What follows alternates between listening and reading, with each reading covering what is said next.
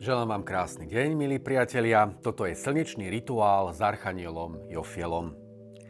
Slnko nás obdarúva lúčmi, teplom a dobrými vibráciami. Keď je slnečného svitu dostatok, máme optimistické vyladenie a tešíme sa zo života. V týchto dňoch možno zo slnka načerpať ešte viac blahodarnej energie. Vyskúšajte rituál s archanielom Jofielom.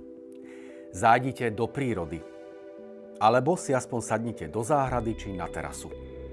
Tvár otočte smerom k slnku. Poproste Jofiela, aby sila žeravej gule povzbudila vašu tretiu čakru. Je to i čakra života. Keď je zdravá a vitálna, milujeme život. A život ako taký nás obdarúva všetkým, čo potrebujeme. Tretia čakra tiež zodpovedá za to, do akej miery ľúbime vlastné ja a tiež za to, do akej miery sme chránení pred zlom z okolitého sveta.